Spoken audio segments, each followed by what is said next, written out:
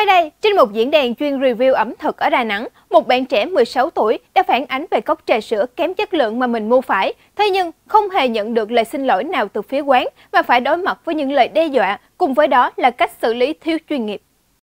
Theo những gì H đăng tải, thì cô đã mua trà sữa từ một thương hiệu nổi tiếng và gọi hẳn một ly đặc biệt. Thế nhưng khi uống được vài ngụm, H bắt đầu cảm thấy lầm cộm ở trong mồm. Sau đó, cô gái kiểm tra thì phát hiện thấy có dòi trong ly. H cho biết đây là lần đầu tiên cô đánh giá thấp về vấn đề vệ sinh của một quán. Và cô cũng khẳng định rằng sẽ không tiếp tục ủng hộ quán trà sữa này thêm lần nào nữa. Sau đó, cô đã phải nhận những lời đe dọa từ các đối tượng không hề quen biết.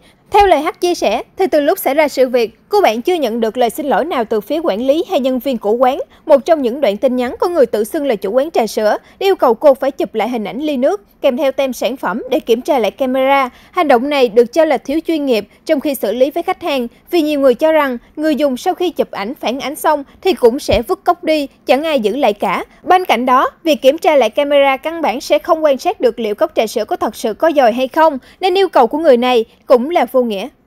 Được biết, phía quán trà sữa vẫn đang trong quá trình làm rõ sự việc trên và chưa đưa ra câu trả lời nào. Còn bạn, nghĩ sao về tình huống đi review đồ ăn nhưng lại bị đe dọa ngược như thế này? Hãy cùng chia sẻ nhé!